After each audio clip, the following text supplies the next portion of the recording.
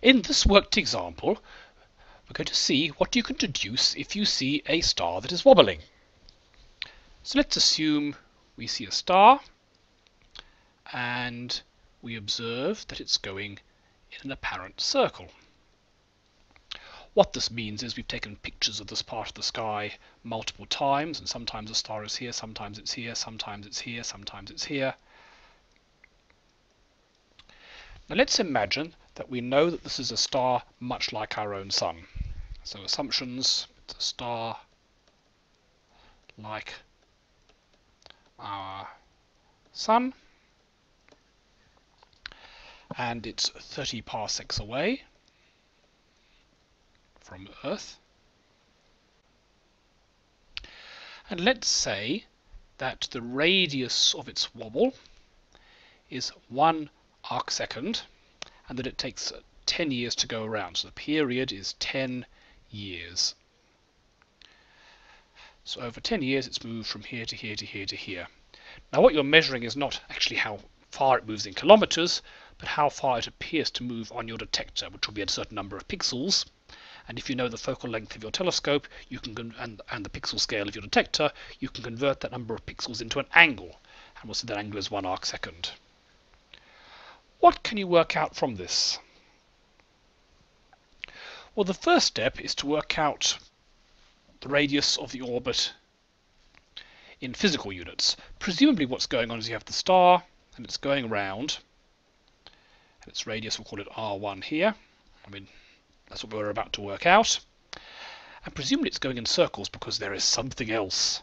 Something else, know, over here, say. Let's call that R2 and give this one an M2 and that one an M1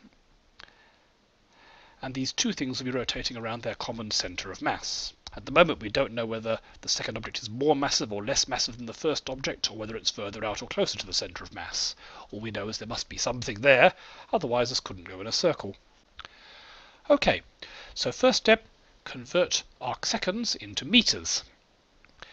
Now we covered this in the first course in the series, but let me give you a reminder.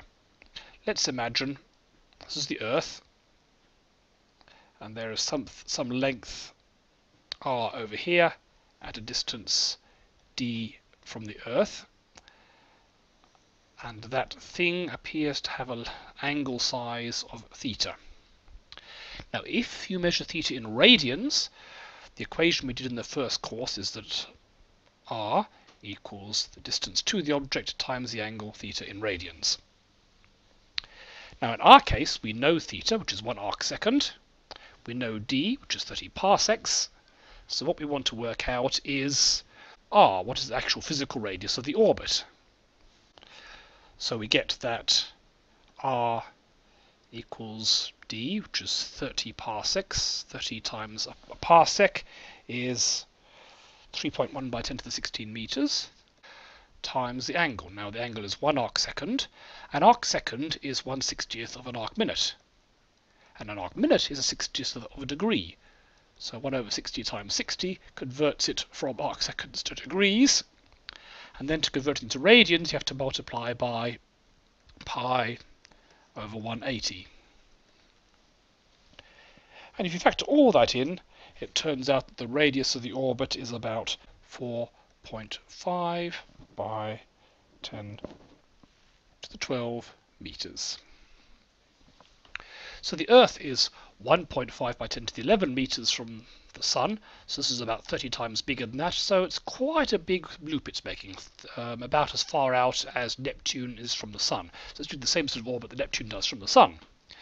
But Neptune takes hundreds of years to go around, whereas this one's only going around every 10 years. So that's telling us something. What's that telling us? Well, now we've worked out this distance here, we can proceed to work out how heavy and how far away this mysterious second mass must be. So if you look in the reference notes for this week or from the videos, you find there are two equations. The first equation comes from balancing centrifugal force against gravity, and it tells us the mass of the second object equals 4 pi squared over g times the period squared r1 R1 plus R2. Now we don't know R2, we know everything else in there. So if you substitute numbers in, that comes out as 2.6 by 10 to the 7, 4.5 by 10 to the 12 plus R2 squared. So there should be a squared up there. So that's one equation.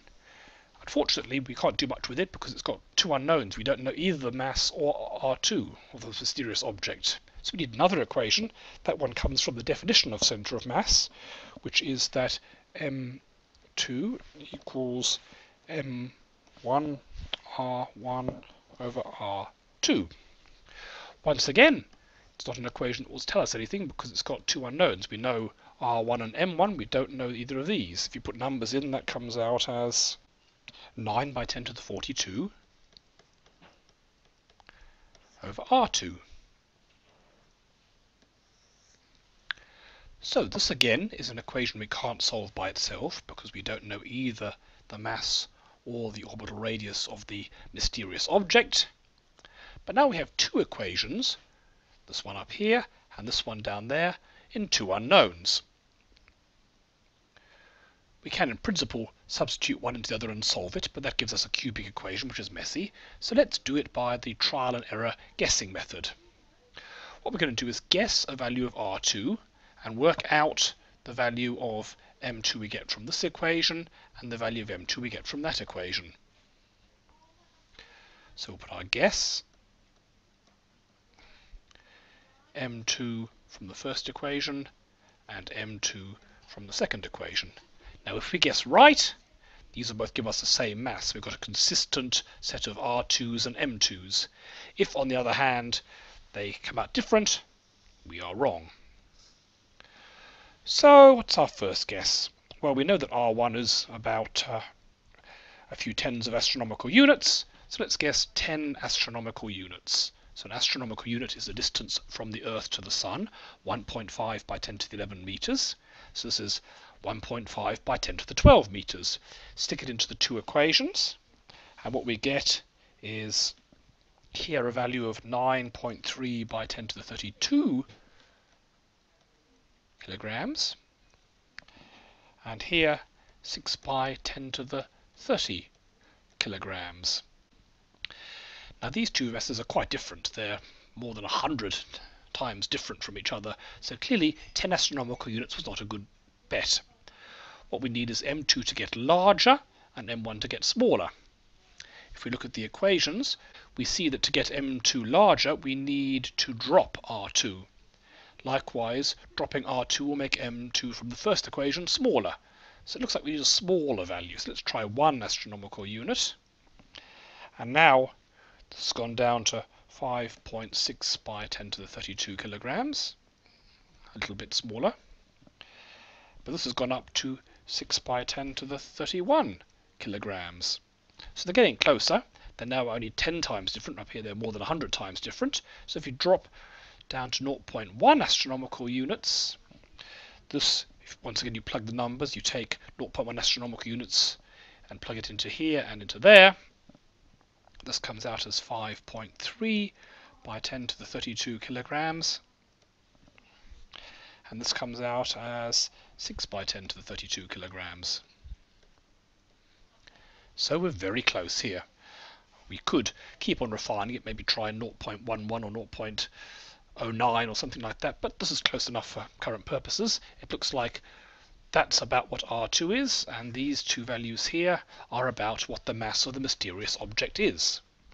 So it appears that our sun is doing its circles because there is something very massive. The mass of the sun is about 2 by 10 to the 30 kilograms, so this is about 300 times the mass of the sun. So something about 300 times the mass of the sun, which is about 6 by 10 to the 32 kilograms. And because the second object is so much more massive, as the star moves around its center of mass, the mystery object is much closer to the center of mass. So here is only 0.1 astronomical units, uh, whereas this is 30 astronomical units. So that's what we've got.